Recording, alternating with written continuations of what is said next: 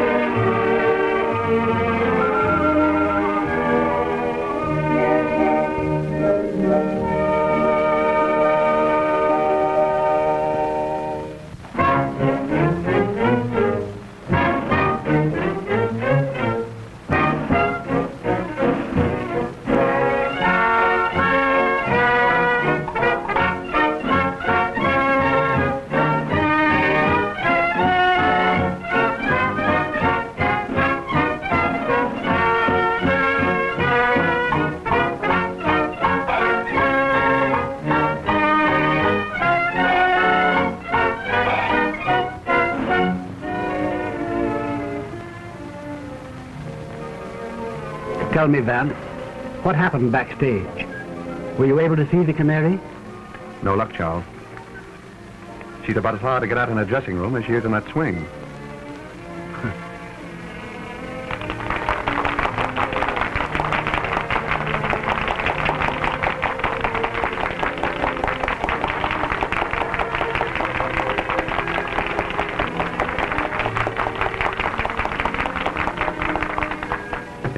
Idea of what I ran into back there, let me point out a few of uh, her admirers.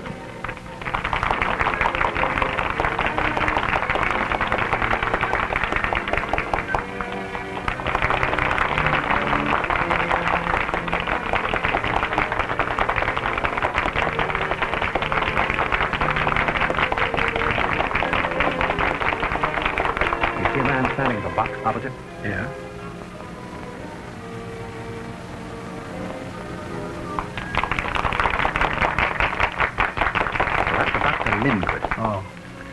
He was outside her dressing room just now, along with these other two. I understand that the Canary has her claws in all three of them. Are they rich? Naturally. Well, then what does she want with my son?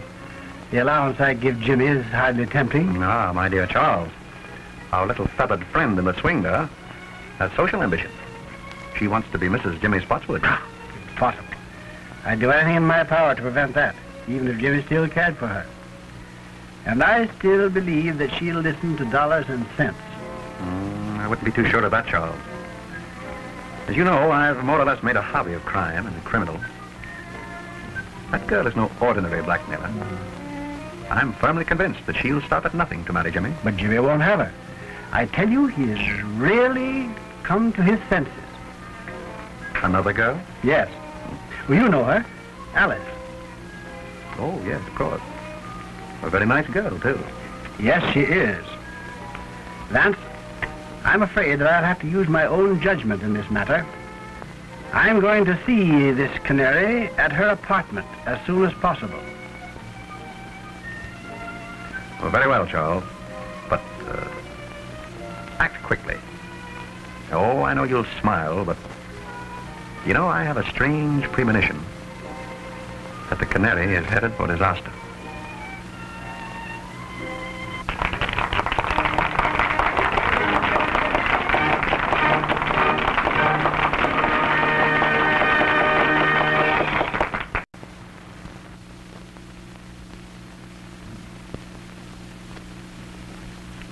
Evening, Mr. Spotswood. Hello there. It, shall I announce you to Miss Odell? No, don't bother. That's perfectly all right. Oh, very well.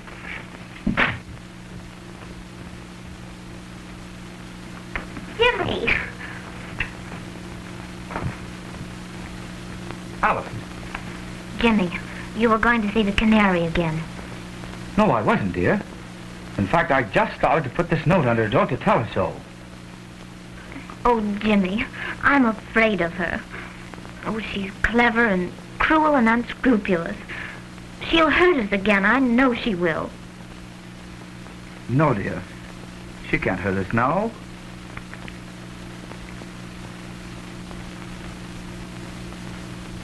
Boy, will you announce my name? Uh, uh, never mind. Uh, yes, sir. Hello, Jimmy. Why, hello, Dad. Good evening, Alice. Good evening, Mr. Spotswood. You know, I'm delighted that you and Jimmy have made it up again. Oh, thank you. You know, I'm going to try to show you that all showgirls aren't like, well, Like the canary, eh? yes. Yes, I want to talk to her. Do you suppose she's home yet? I suppose so. No, Dad, you, you're, you're, you're a regular guy for helping me out on this thing. You know, if, if the canary ever came between Alice me again, I don't know what I'd do. I don't know what I'd do. It's all right, Jimmy. I'll do everything I can. Shall I go along with you? No, I can handle this better alone. I'll send in my name now.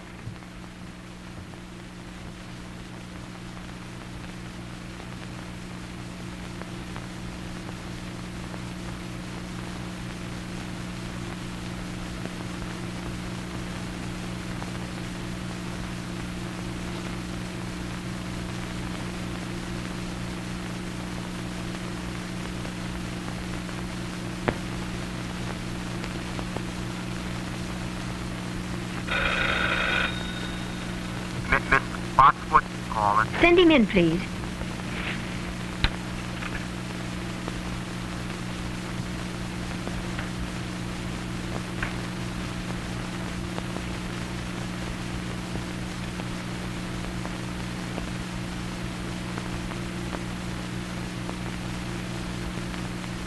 Good evening, Sodell. Good evening.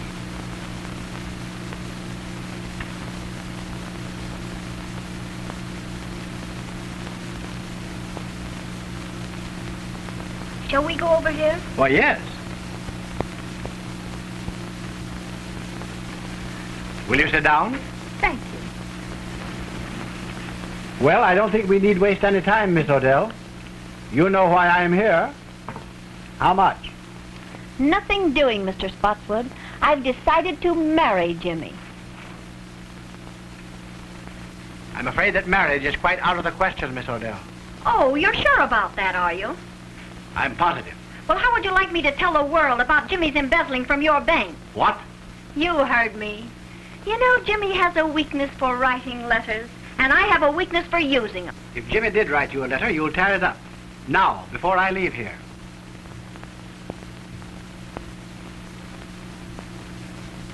Sure. Go ahead, tear it up yourself. My memory's still perfect. Oh, yes, yes, I see. Yes. Very well. You win. Now, what do you really want? I've told you what I want. I want to be Mrs. James Spotswood, and that's that. Oh, haven't you any heart? Won't you give him up, Miss Odell? For the sake of his happiness, for the sake of the girl whom he really loves, give him up. Now, what do you want me to do? Burst out crying? Listen, Mr. Spotswood, I know all about Jimmy and Alice, and if he marries her, I'll tell every newspaper in this country that he's a dirty thief. Oh, no, you wouldn't dare do that. That's blackmail. Sure it is. Call it anything you like. But get this into your head that that's what I'm going to do.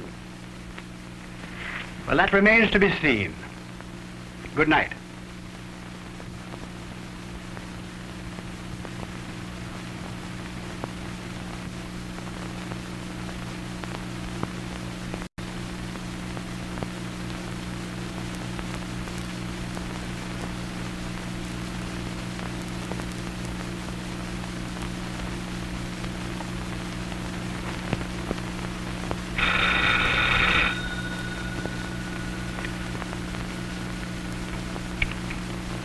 Uh, Mr. Cleaver, please.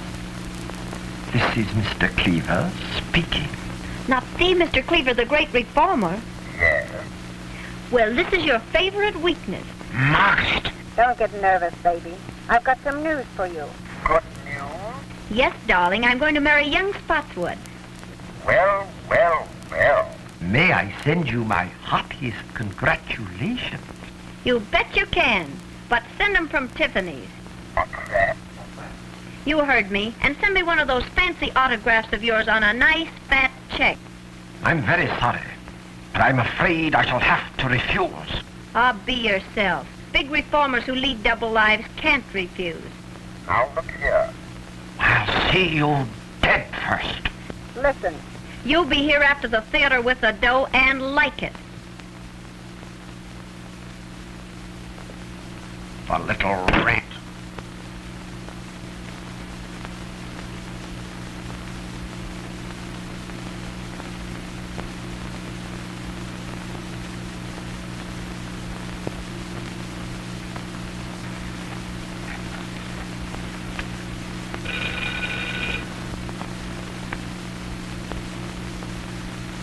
May I speak to Mr. Louis Mannix, please? Quiet, quiet, my wife. Don't get excited. I just thought you'd like to know I've sold the body down the river. I'm going to marry young Spotswood. Splendid. yes, darling. And I've decided that you're the best man. Best man. Yeah, the best man I know of to kick in with a nice, handsome present in cash. Now, see here, you know I can't afford. What do you mean is, you can't afford to let the ball and chain know what a big-hearted Santa Claus you've been. Now look here, I've told you what I'd do to you if you ever got to the wife. Forget that bunk. And be on my front porch after the show with that Jack, or I'll get to your wife all right.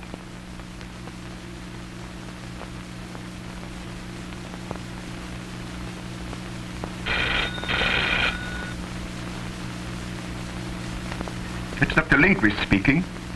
Oh, yes, Dr. Lindquist. How would you like to do me a little favor? Why, certainly, Margaret. I'd do anything for you, you know. How would you like to go jump in the lake? Oh, Margaret, don't joke with me. I'm not in a mood for it. Ah, get wise to yourself. I'm through with you. You give me the willies. I warn you, Margaret.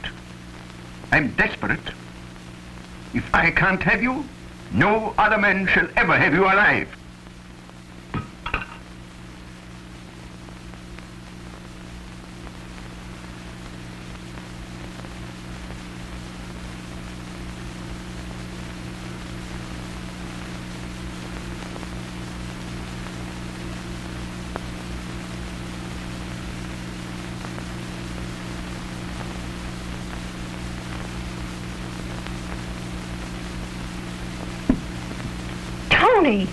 In person, baby. How's my little squaw? I thought you were still in jail. Well, I got tired of the big house, Mrs. Skeel. So I dropped in to see my little wife. I'm not your wife. How come? I divorced you six months ago. Yeah? Listen, baby. A little thing like a divorce don't mean anything to me. I heard you taking those suckers down over the phone. And I'm in and in on the works. Fifty-fifty. You big crook. You're not in on this one. Don't, you big heel. Say, I ought to bump you off. You're doing your swing for it. Yeah? Well, maybe it'd be worth it. Now get this. I'm in on this racket. And I'll be back for my cut. Yeah? Try and get it.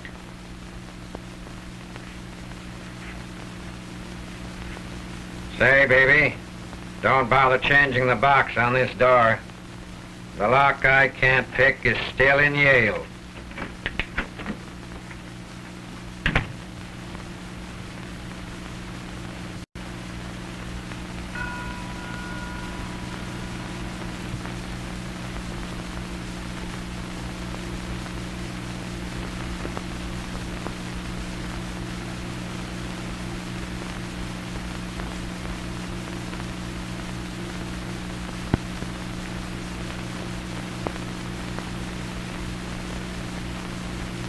Miss Odell, may I see you for a few moments, please? It won't get you anything, but come ahead. Thank you.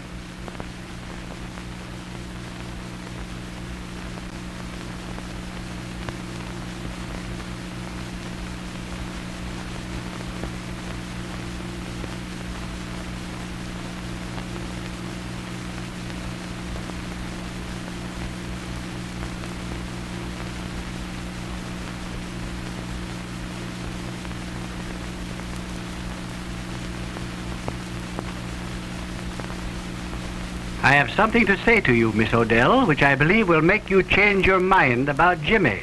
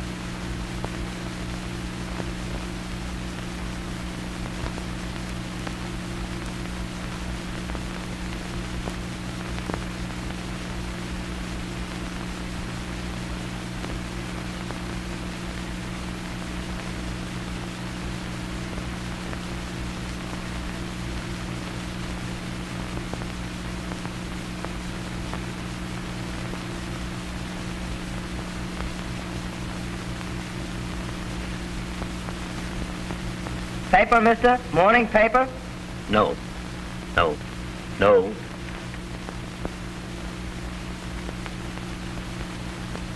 Thanks, mister.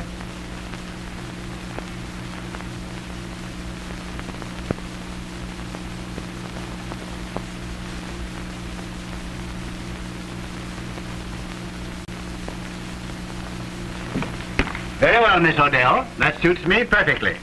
Take it over tonight, and I'll come for your answer in the morning. Good night. Boy, will you call me a taxi, please? Yes, sir.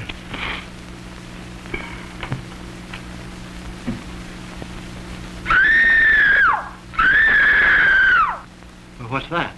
The Miss Odell.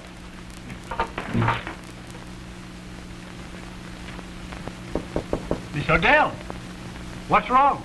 Something startled me, Mr. Spotswood, but I'm all right now. Are you sure you're all right? Yes, quite sure. Run along home and come back in the morning. Oh, very well then. I'll see you in the morning. Good night.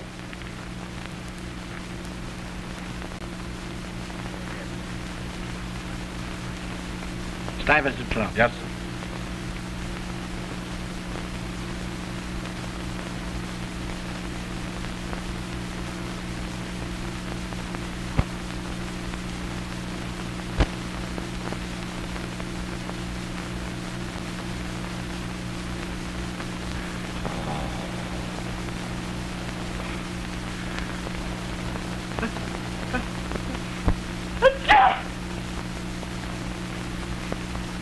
Say, fella, what big idea in you coming in here late? Me late?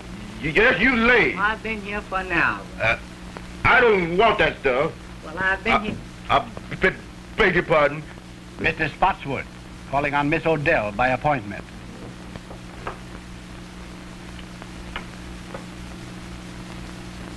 If she don't answer.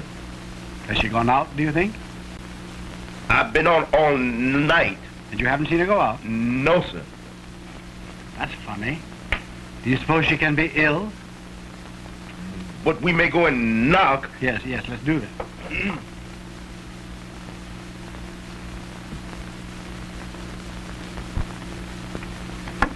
Miss Odell. Miss Odell, are you ill? No. What's the matter? Something has happened. Go, get your pass key. Yes, yes.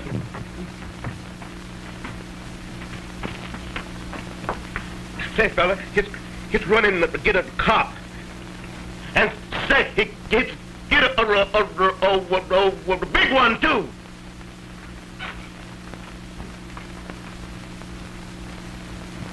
You better let me have that.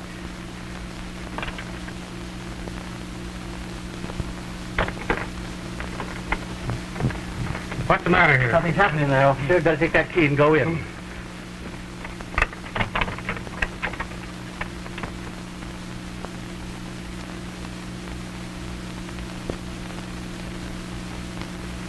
He's dead.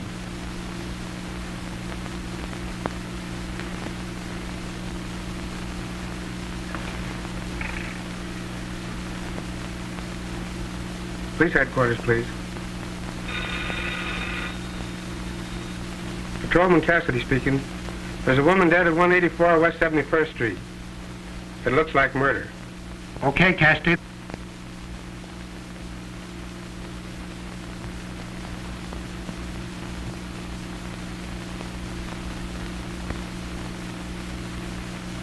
She's been dead since midnight, Sergeant.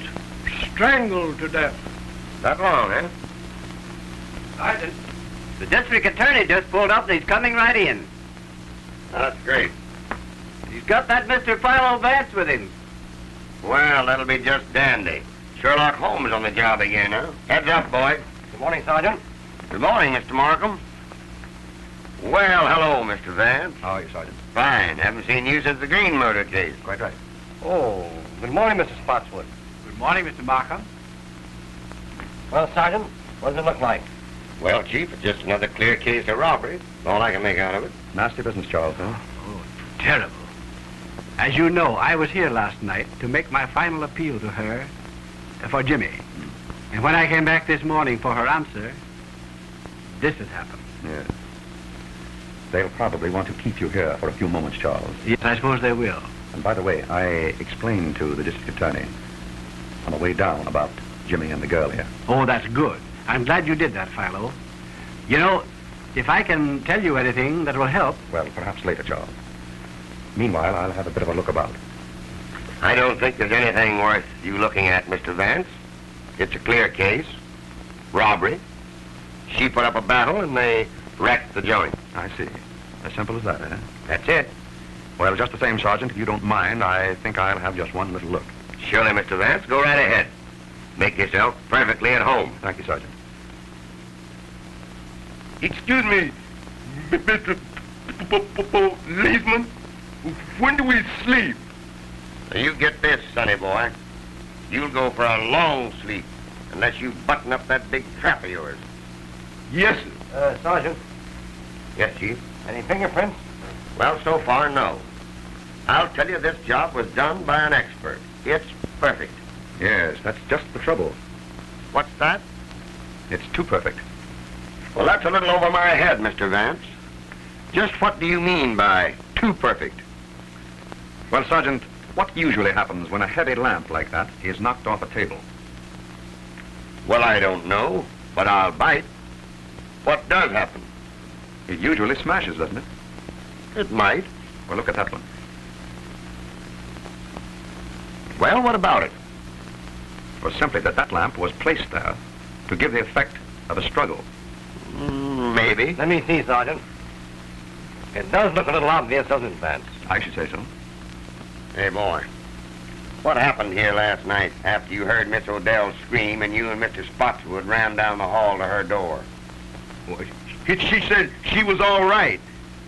And I called Mr. Spotswood a taxi cab. And you got away with it? Yes, sir. That's right. What time was this? It's on the call sheet there I gave you about... Never mind. I, I can read it. Twelve ten. Now, Mr. Spotswood, where did you go last evening after you left here? I went directly to the Stuyvesant Club. Uh, that's right, Sergeant. I met Mr. Spotswood at the club shortly after 12. We played poker until almost daylight, I believe, wasn't it? It must have been. I know it was long after four. Oh, yeah, you mentioned that coming down here, Vance. Right. Uh, that'll be all for the present, Mr. Spotswood. Thank you, Markham. But if you do want me later on, Mr. Vance has my number. Quite right. Goodbye. Goodbye. Goodbye, Goodbye, Charles. I'll phone you. Go right ahead, boys. Joe.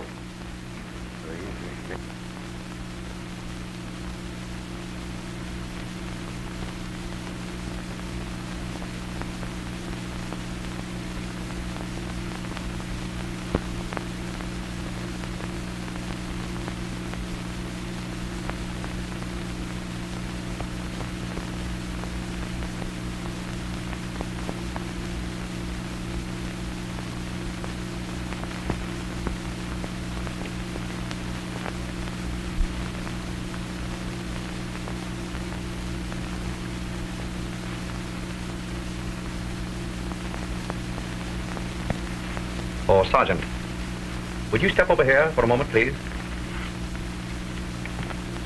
All right, Mr. Vance. What is it now? Uh, do you observe anything peculiar here? Why, surely. The key is on the inside. Excellent, Sergeant. Don't you think we might go over that knob for fingerprints? Well, now, uh... Oh, I get you, Mr. Vance. The murderer locked himself in this closet. When Spotswood left, he came out and croaked the canary. No, I hardly think so, Sergeant. If you will observe, this is the one place in the entire apartment that hasn't been disturbed. Now, what does that signify? That and the fact of the key being found on the inside. Just as I told you. The murderer was in this closet and came out when Spotswood left. Mm, I don't think you quite get my point, Sergeant. If the murderer had been in here, he would have upset this closet as he did the rest of the apartment, wouldn't he? Well, yes, I guess he would. Precisely. Gentlemen, it was someone else who was in that closet while the apartment was being ransacked. And that someone witnessed the murder. Through the keyhole. Splendid, Sergeant. And if you'll find who was in that closet, I think you'll learn from him, or her, who it was that killed the canary. Sergeant, get the fingerprints, will you? Oh, Joe. Oh, Sergeant, you might check up on the other apartments. Mr. Vance and I are going outside.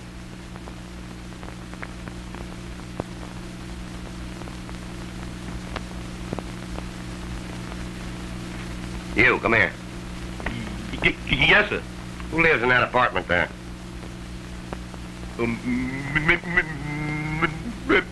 Miss Alice LaFosse. Isn't she the dame that had the battle with the canary the other night over young Spotswood? All right, all right.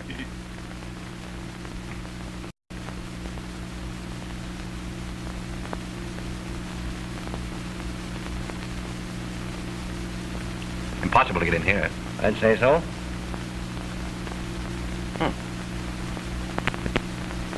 Well, what's that? Hmm. That's odd. They prove that interesting. What do you think? I see, Miss LaFosse. I see. But you and the canary had a fight over young Spotswood, didn't you? Why, yes. We did have a fight. You see, she took Jimmy away from me and got him into trouble. But that's all over now. Jimmy and I made it up just day before yesterday. You didn't see young Spotswood last night, did you? Why, yes. He brought me home from the theater. Uh-huh. So he was hanging around here last night, was he? Yes, but he was with me until after one o'clock. Now, wait a minute, lady. Wait a minute. You save your alibis till we get you down to headquarters. Go slip on your things. Why, look, you don't think that... Put 'em on.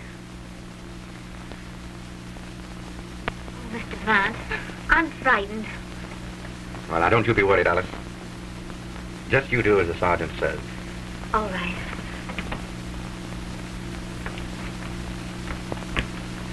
You know, I'm beginning to question this robbery theory, Mr. Vance. You and I were right. Hmm. Oh, yes.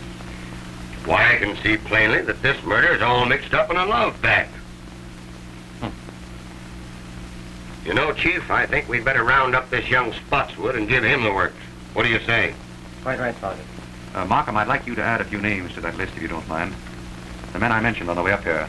Uh, Dr. Ambrose Lindquist, John Cleaver, and Louis Mannix.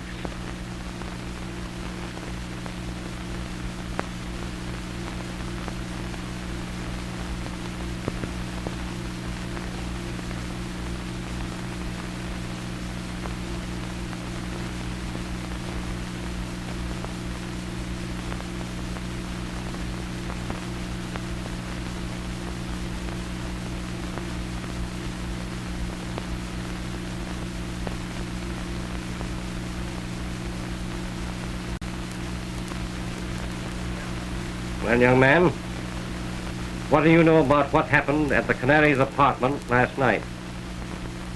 Nothing. But look here, sir. That has nothing to do with Alice. Uh, I mean Miss LaFosse. The papers say the canary was murdered before midnight. And I tell you we were together the whole time. It isn't fair to hold her. You haven't the right. Now, Jimmy, don't get worked up. Everything's going to be all right. Why not interview the others first, Markham?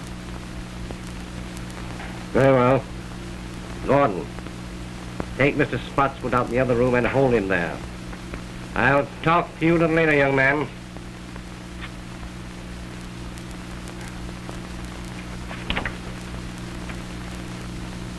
Theo.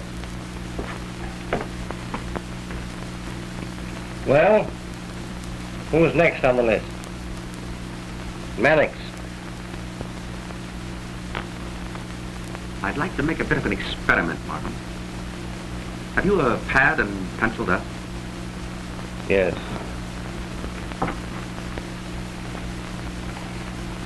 There you are. You have that newspaper handy? Yes, right here. All ready? All right.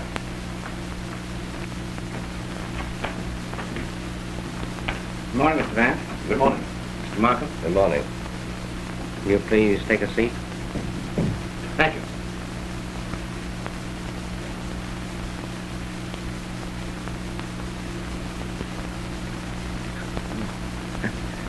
Sorry. Mr. Mannix, there are a few questions I'd like to ask you. Questions? What about? I don't know anything about this. It was a great shock to me. What was a great shock to you? I thought perhaps you were going to ask me about the canary. Exactly. You read my thoughts, Mr. Mannix. Did you ever see that necklace before? Why? Why, yes. Fact is, I gave that to the Canary. Little token of esteem. Nice girl, the Canary. I'd met her once or twice. Casual acquaintance. Rather an expensive gift to give to a casual acquaintance, isn't it? Do you know that the canary was strangled with that necklace?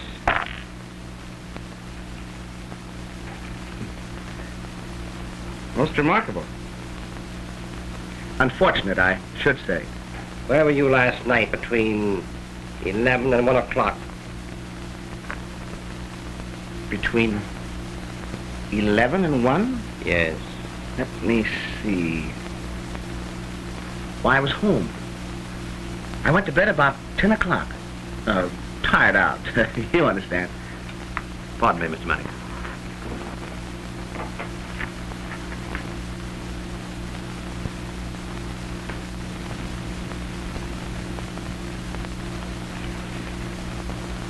Any comment to make, Mr. Mannix? Odd habit of mine, drawing triangles. Uh, Mr. Mannix, if you were in your bed last night at 10 o'clock, how did you manage to drop that newspaper just outside the Canary's apartment? And that edition isn't on the streets until 11.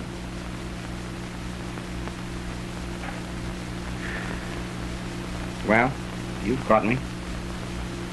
I'll tell the truth. It's always best to tell the truth, especially when there's no reason to lie.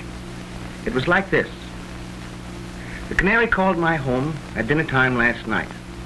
Most embarrassing. Mrs. Mannix was with me. I had omitted to tell my wife about the canary. She wouldn't have understood. the canary told me that she was going to be married and wanted to see me. Said that I should come to her apartment at 11 o'clock. Well, I... I couldn't argue over the phone. The missus was listening. So I said, all right. So at 11 o'clock, I went to the canary's apartment. I entered the hall by a side door. I went directly to her apartment. I was about to enter when I heard voices inside. I listened. There was a man in there, and he was arguing. Of course. well, that was no place for me.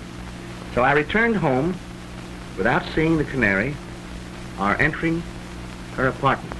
Well, uh, That'll be all the questioning for the present, Mr. Mannix, but I'll have to ask you to wait in the outer office. I may want to speak to you later on.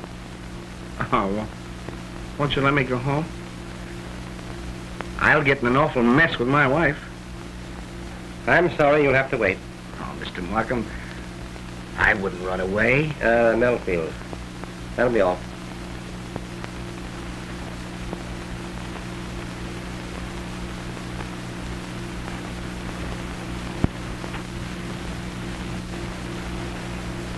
Mr. Markham, You have got to help me square this with my wife.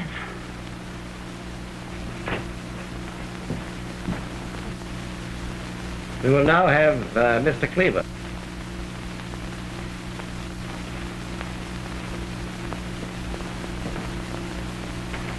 Good morning, Mr. Cleaver. Good morning, Mr. Markham. Can I do anything for you? Will you uh, please have a seat? Mind if I smoke a cigar? Well, please do.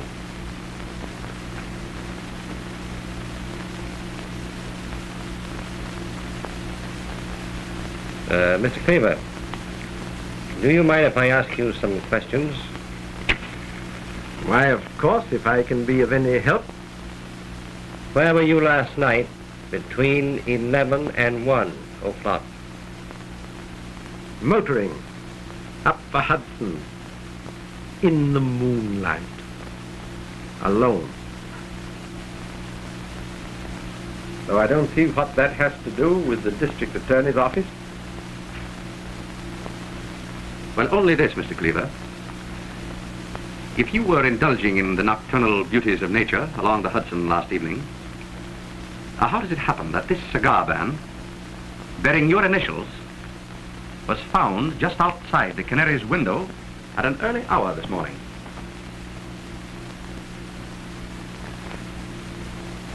Well, if I was passing the Canary's apartment, you can't twist that into a crime. Oh, then you did pass her apartment. Why, yes, I've, I've nothing to hide. It was about uh, dinner time last night. The Canary phoned to me. Oh, of course, my, my acquaintance with her was wholly in my line as social reformer. I'd hoped that she was going to leave her immoral life and, and marry and settle down and be a good woman. And uh, you kept the appointment? Yes. Yes and no. I was a little late. I arrived at her apartment about uh, a quarter to twelve or thereabouts. I waited for a minute outside her window to light a cigar. Then I uh, glanced down to the side entrance to the building. And who should I chance to see Dr. Lindquist? He was behaving in a very peculiar manner. Seemed to me very queer, very mysterious. I didn't like it. So I made up my mind not to see the canary again. And I turned, walked back home. All I can tell you. I'm a busy man, and uh, I hope you'll excuse me. I'm very sorry, Mr. Cleaver, but I'll have to ask you to wait in the outer office. I might want to question you again. You mark my words, Markham. You'll be sorry for this. well, I'll take my chances, Mr. Cleaver.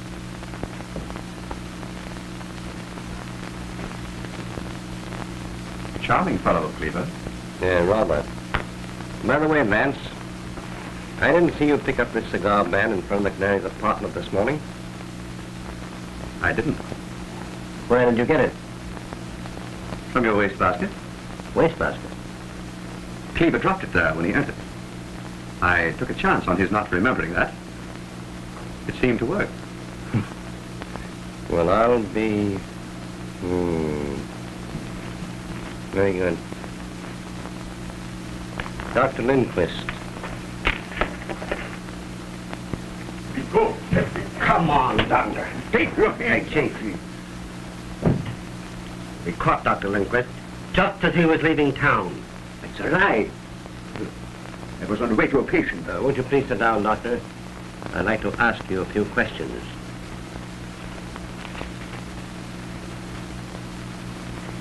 Doctor? Where were you last night between 11 and 1 o'clock? None of your business. It is some of my business. You were seen coming out of the Canary's apartment at midnight. Yeah, yeah. Not so fast, Doctor. Calm yourself, Doctor.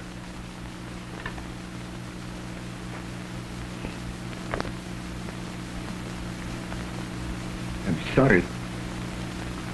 I lost my temper.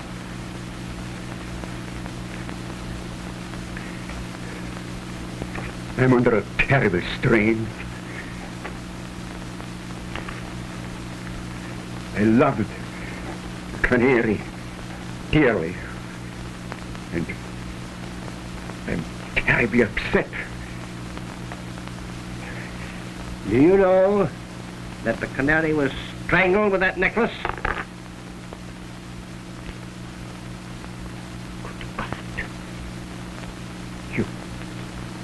You don't accuse me?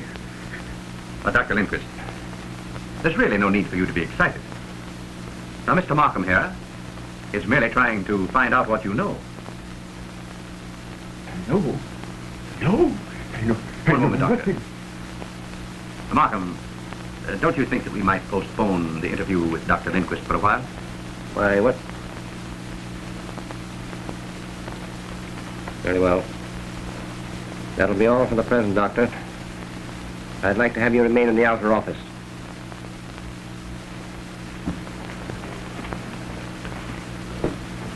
Come on, Doctor.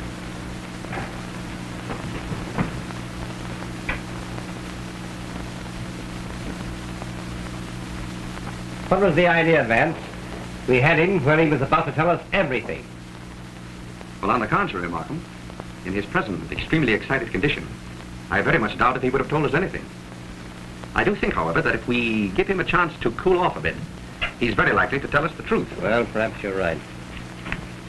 Good morning, Sergeant. How are you, Sergeant? Good morning, Chief. Hello, Mr. Vance. Take a slant at those. There's the Canary's jewels. They were found in an ash can about a block from her apartment this morning. Guess that kind of disproves the robbery theory. We were right, Mr. Vance. Hmm? I say we were right. Oh. Oh, yes. Yes, apparently we were, Sergeant. Now it's up to us to find another motive. Yes, quite right, Sergeant. You know, Markham, I've been thinking this over all morning. And I believe that I can come pretty close to the psychology of the man who committed this murder. I believe that I can pick him out from that list of suspects, if he's among them. However, it will require a bit of an experiment. Uh, what is in your mind? Well, I'd like to use that conference room of yours there for a friendly little game of poker with your suspects. Well, now, that's a cute idea. Uh, just what is your idea, Vance? Well, just this, Markham. A man's true nature always comes out in a game of poker. Now, I know the type and the temperament of the man who murdered the canary. And in a game of poker, I believe that I can come pretty close to putting my finger on him. That's a new way of catching crooks. Take it easy, Sergeant, will you please? Well, go ahead, Vance. The experiment can do no harm. Quite right. Now, I'd like to have the sergeant's help. Well, I'd be very glad to help you, Mr. Vance. As long as you don't try to hang the murder on me. Uh, Sergeant, will you take Mr. Vance's orders, please? Okay, Chief.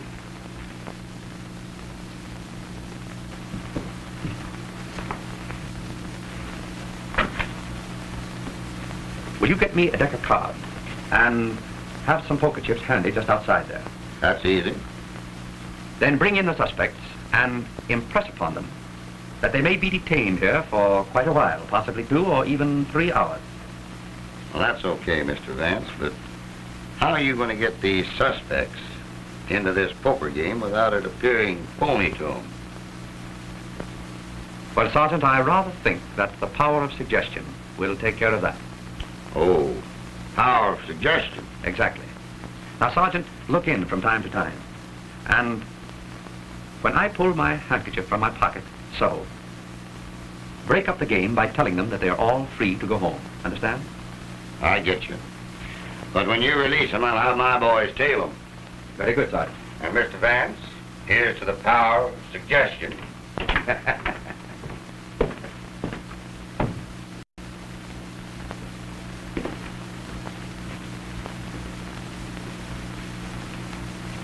Jimmy?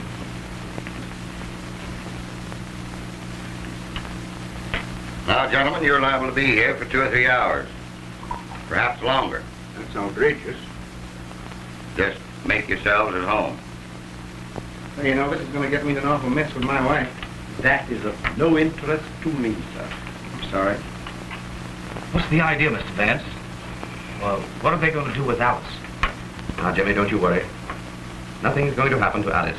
Say, Mr. Vance, you know, this is going to get me in an awful mess with my wife. Martha's a, my wife's a wonderful woman and all that, but sometimes she just doesn't understand me. The last time I was a little indiscreet, it cost me a fur coat. Hmm. I hate to think what this is going to cost. but don't you think if you put... Oh, I beg your pardon, I'm sorry. Mr. Vance, you haven't got an extra pack of cards, have you? I'm sorry, Mr. Mannix, but you're welcome to these. Oh, no, oh, no, thanks, just the same. I, uh, I wish we could play a little cards. Say, that's a good idea. How about poker? I'm agreeable. What about the others? Uh, Dr. Lindquist? Anything to pass the time. Mr. Cleaver? Well, uh, as a rule, it's against my principles.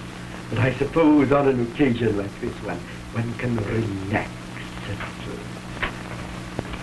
Just draw up chairs, gentlemen. Thank you. Sergeant, uh, how about some poker chips? Surely.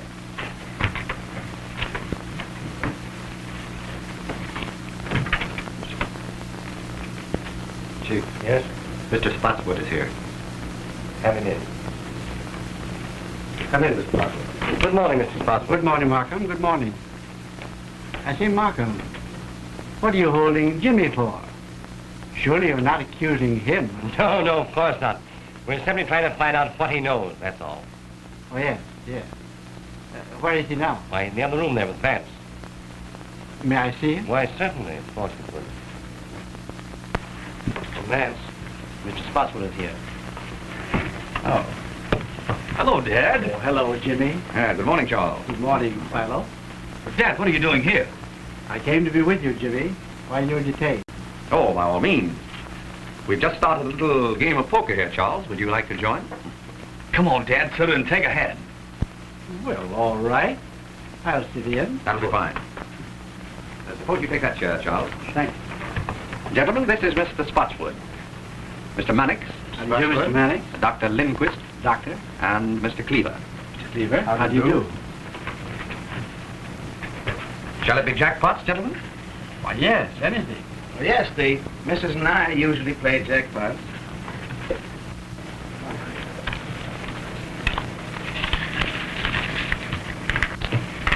Cards?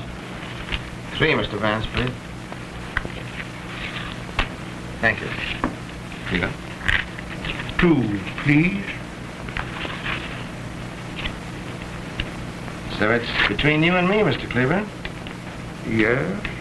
Hmm. I'll bet a white one.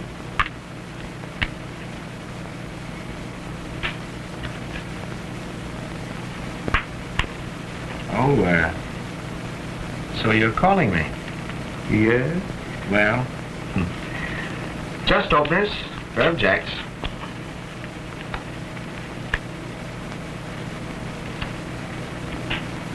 Three aces. Oh. So you called a one-chip bet with three aces.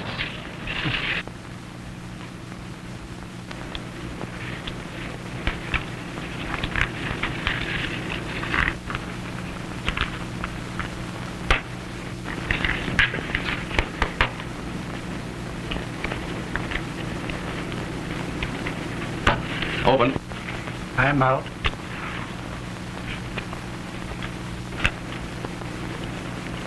dealer passes. How many, Mr. Vance? Two cards, please. Mr. Mannix? I think I'll play these.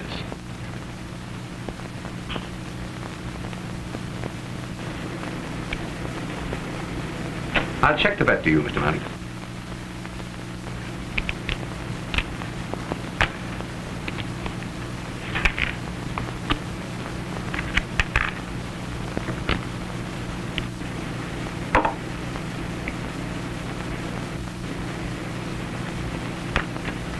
Calling. Nine, eight, seven, six, five. And they're all spades.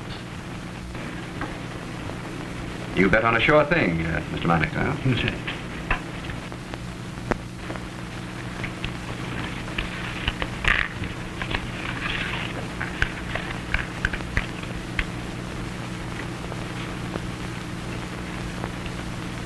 I open for one.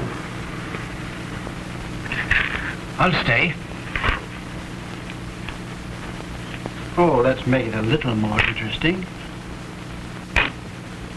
Ten more. Well, that lets me out.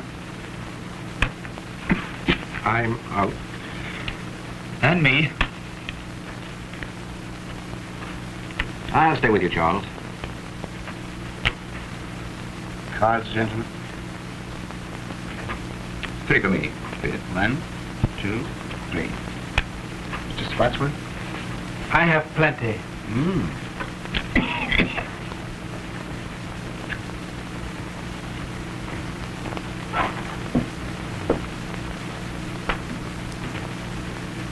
A white stack, Charles. Two white stacks. Hey.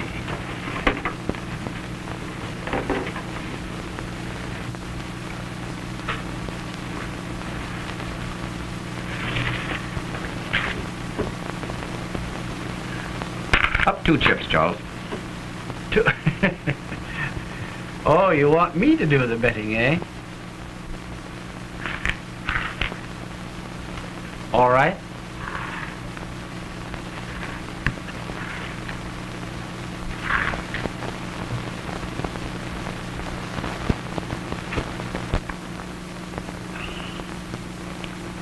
I'm afraid I'm overcome by curiosity.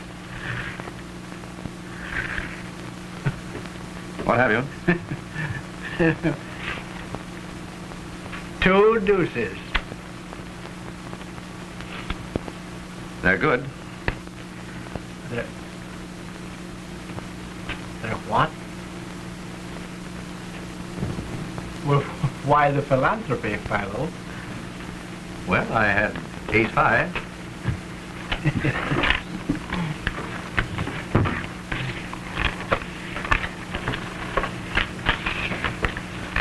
Pardon me, Mr. Vance. Could I speak to you a moment? Excuse me, please. We've traced the fingerprints, and this is the bird that was in the closet that saw the canary murdered. Gentlemen, here is the man who was in the canary's clothes closet and who witnessed her murder. Hmm. Well, I shouldn't like to be the man he saw. Hmm. Thank goodness he didn't see me through the keyhole. So that man witnessed a murder.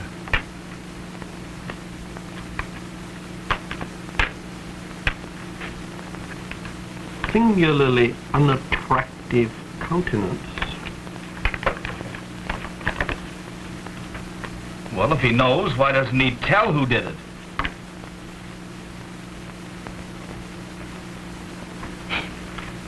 Gentlemen, I've uh, been instructed by the district attorney to inform you that you're all free to go home.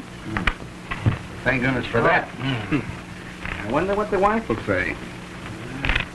Has anyone a fountain pen, please? There's, there's mine. Oh, thank you, sir. Hmm?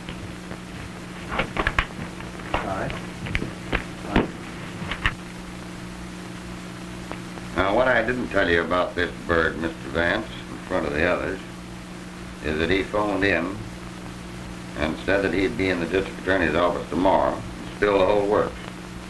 He says that he saw the guy that croaked the canary. And he'll come in and tell us who it was.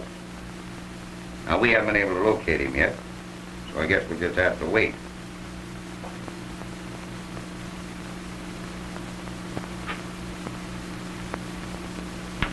Well, Sergeant, that takes the matter out of my hands.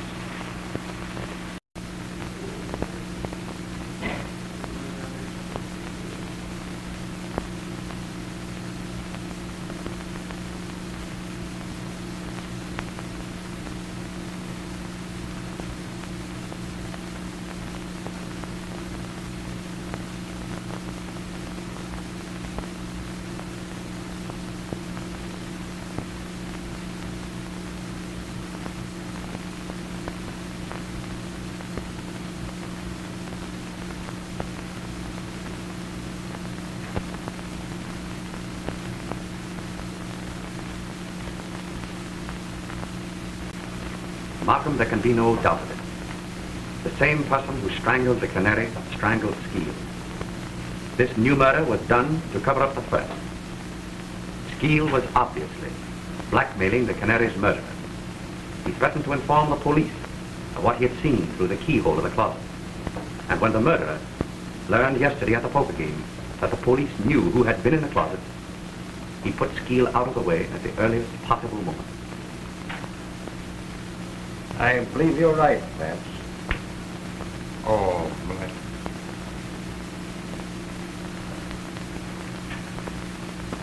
Did any of the suspects get away from your men last night?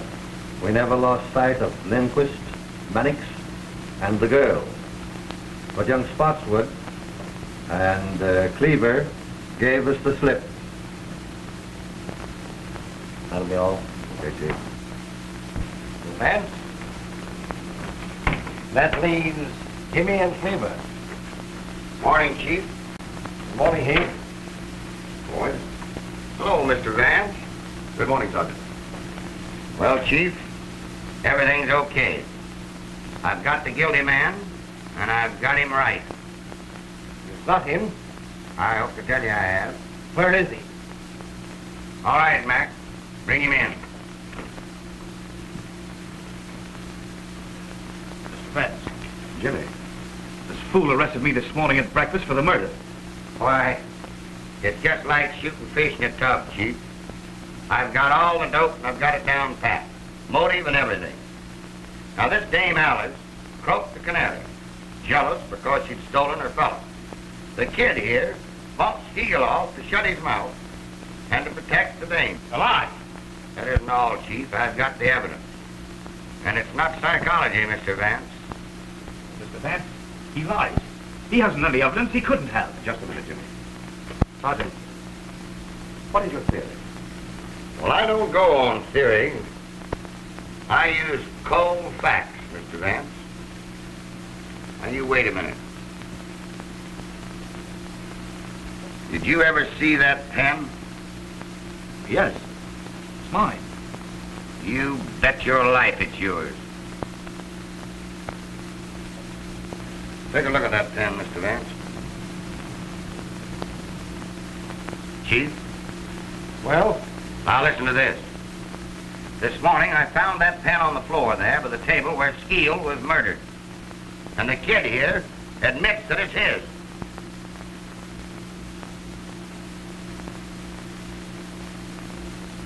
Well, young man, what have you to say?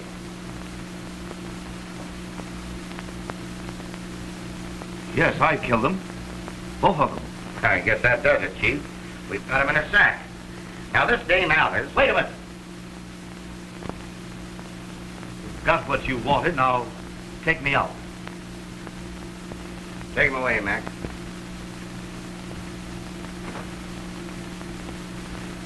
Well, I'll see you later at the office, Chief. All right.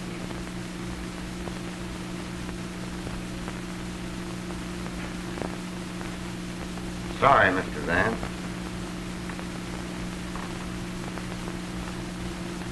Well, Vance, I guess that closed the case. No, Markham, it doesn't. What do you mean? I mean that the boy is not guilty.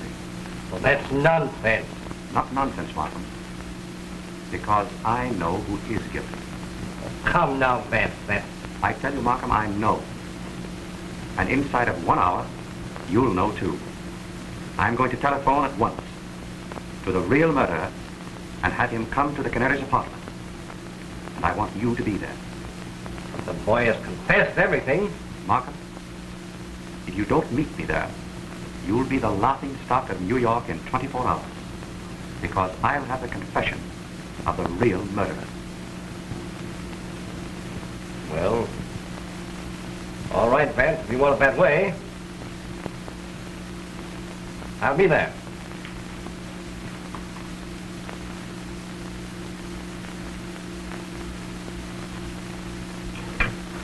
Number three, Bayview 2121. Berkeley, 2121. Yes, please.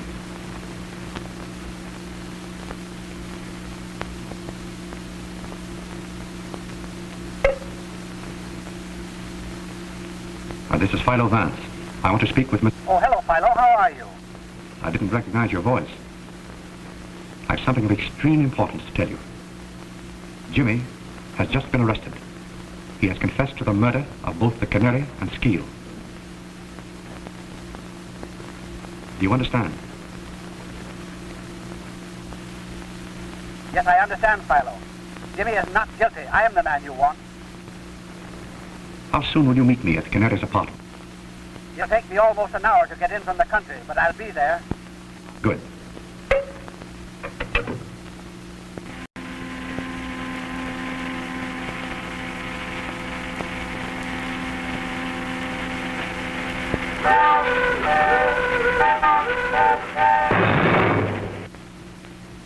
It's been over an hour now, Vance. Now, don't be impatient, Markham. He'll be here.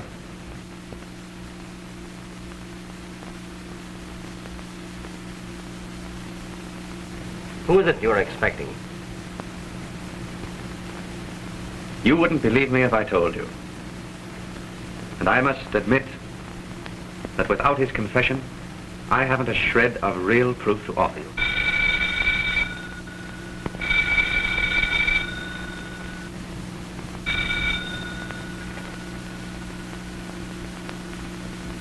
Hello? Yes? Uh, this is Mr. Vance speaking.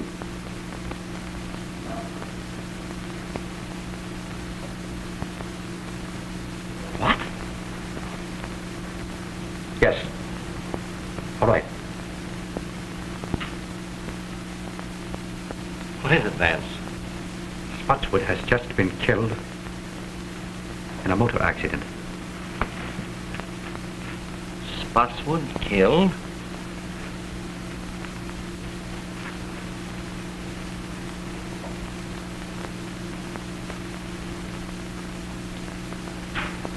Old man. I know what great friends you were. It's worse than you realize, Markham.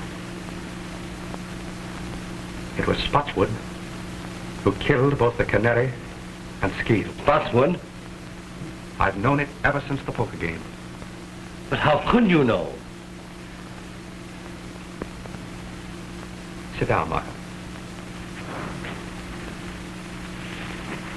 It wasn't really so difficult.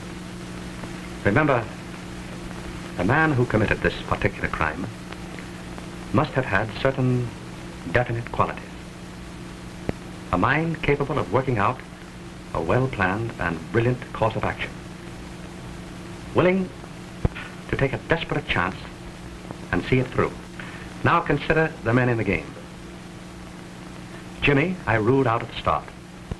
But I'd known him as a boy, and his youth and impulsiveness were hardly consistent with such a such an obviously premeditated murder. Lindquist was far too excitable and erratic to have plotted such a carefully calculated crime. Cleaver, much too cautious and entirely lacking in the necessary boldness. Mannix, timid, and unwilling to take any risk except upon an absolutely sure thing. The only man at the table with enough imagination to plan such a crime and with sufficient self-confidence and daring to carry it through was Spotswood. When he held a pair of deuces, refused to draw to them, and bet every chip he had on the chance of bluffing me out, the realization suddenly dawned upon me that he was the murderer. For he was the one man of them all psychologically fitted for such an act. But uh, how about finding Jimmy's pen in the Skeel apartment? I borrowed Jimmy's fountain pen after the poker game. My hypothesis is that in the confusion, Spotswood put the pen into his own pocket, and that Jimmy saw him do it. That is why Jimmy made his confession, to shield his father. Yes, but against all that theory, Vance, we have certain definite facts. Now, for instance, Spotswood left the Canary's apartment while she was still alive. He talked to her through that door. The hall boy, looking through the keyhole, saw the canary lying on this sofa smoking a cigarette. Spotswood then went away and spent the rest of the evening with you. True. And yet I know he committed the murder.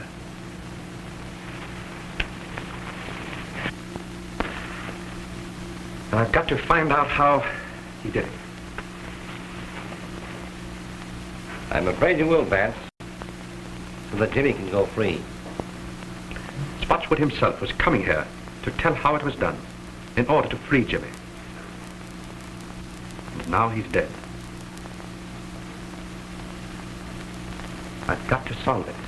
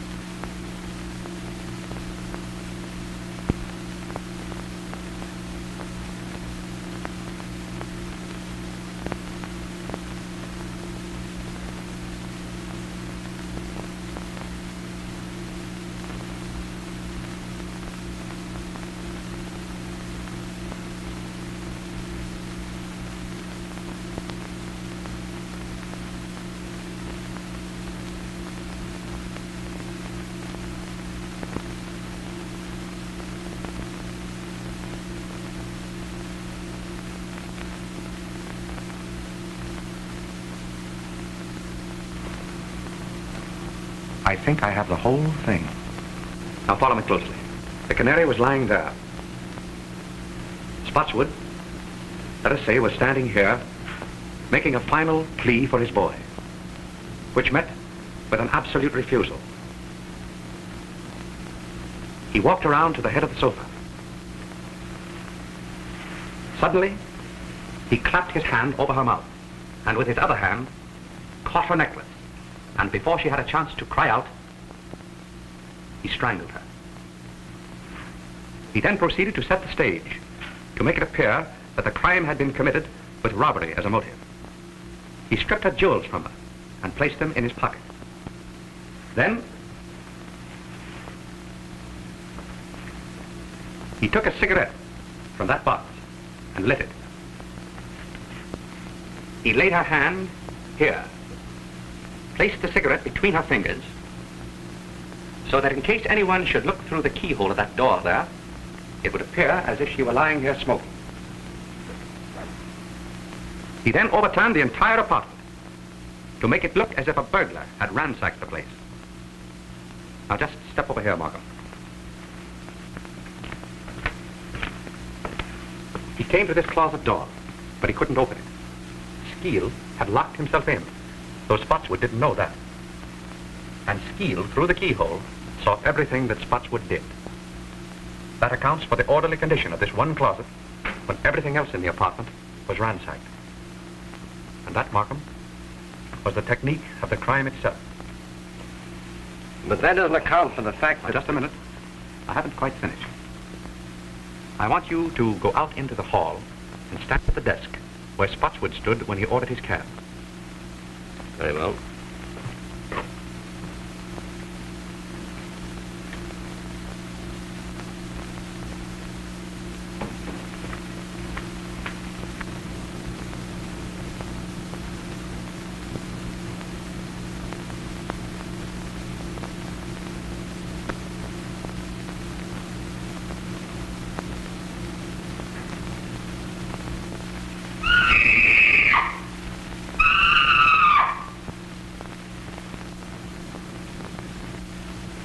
Something startled me, Mrs. Spotswood. But I'm all right now.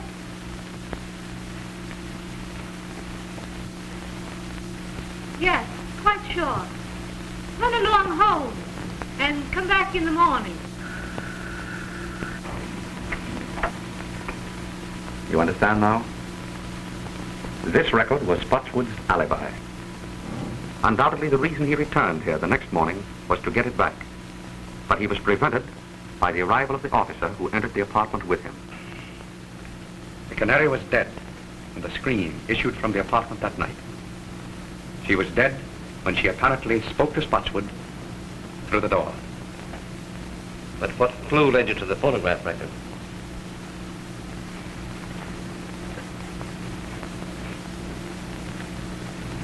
It was this magazine. That is hardly a magazine the canary would have read. So I concluded that someone else must have brought it here. Then, in running through the pages, I happened to notice this. Look closely. You see it? Why, yes, the, uh, the imprint of a large circle. And on the opposite page? And the same thing. Precisely. As if a disc had been pressed between the two pages. That brought to my mind the thought of a phonograph record. And suddenly, the whole plot became clear to me. It was the only way that Spotswood could have committed the murder and have produced a voice in the apartment after the canary's death. But I can't understand how could- he could have reproduced the canary's voice. It wasn't the canary's voice, Markham. Spotswood made that record himself. Probably it was his own voice, in falsetto. And remember, it was only necessary to fool the houseboy and for a closed door. Yes. I can see it all now. He played the game shrewdly and boldly. It was Jimmy's whole life's happiness that was at stake. And Spotswood risked his own life for his boy.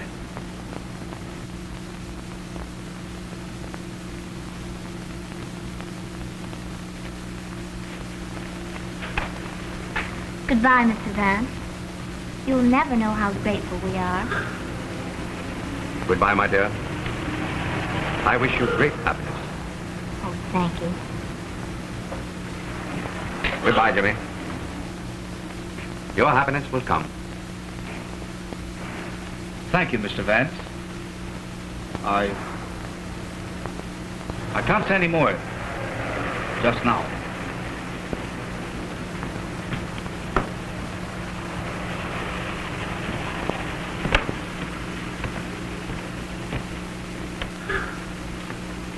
Well, Mr. Vance?